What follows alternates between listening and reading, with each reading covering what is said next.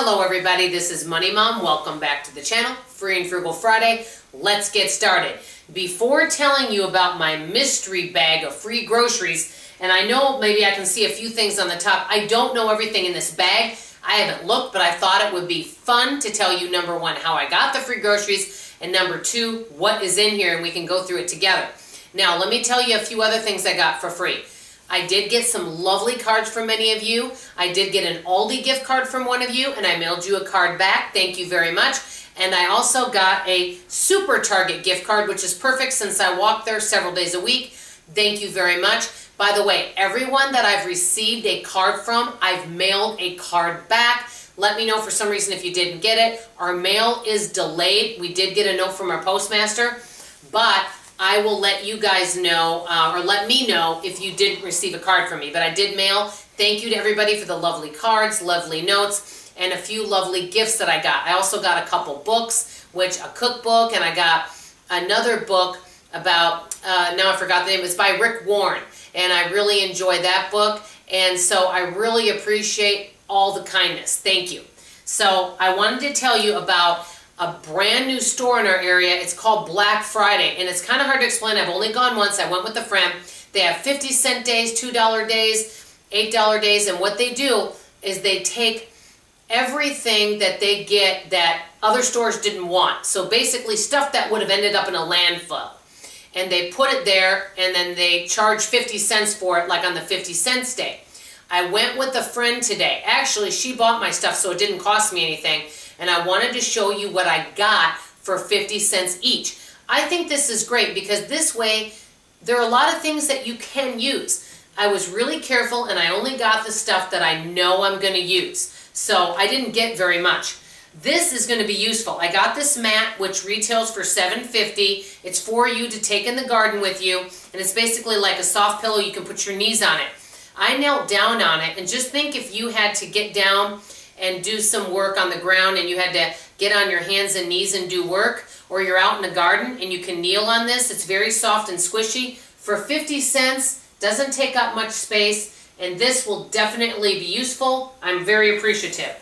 Also at this place, they had keto pancake mix. This stuff in the store is like $7 and something. 50 cents, low carb, and then also, and I got four packages of this. This basically is monk fruit. I can use it in baking. I can use it in my coffee. And so it's kind of like stevia, allulose, that type of thing. And so I can use this. It's going to be very good. I know a lot of times the packages like this, I don't know how much this would be. I'm going to say usually something like this is around 6 or $7. So for 50 cents, it's really good. Now that's what I got from there, so I'm very grateful. One of my friends treated me to a pedicure, which I'm very grateful. And she knows I like body butters and body creams. So she bought me two of them.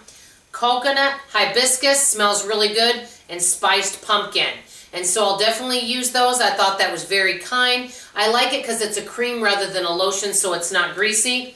And she also, by the way, made me some homemade fudge.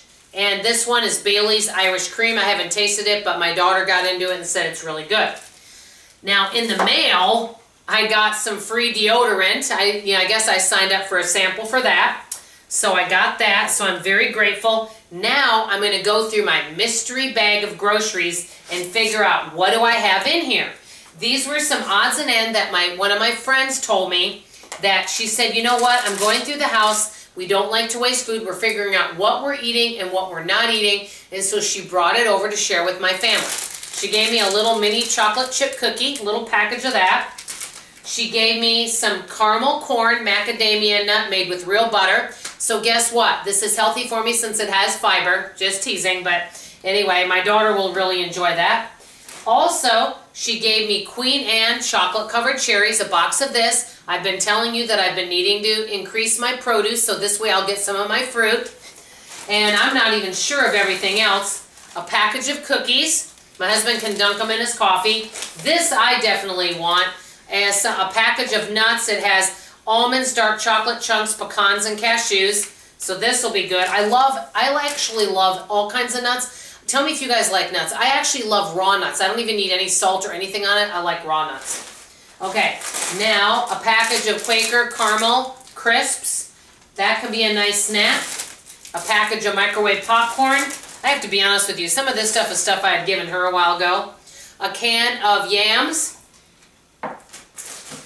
Uh, oh, a mug cake. I can make a family member a mug cake a container of almond butter, more popcorn, granola bars, a can of beef noodle soup, Dinty Moore beef stew,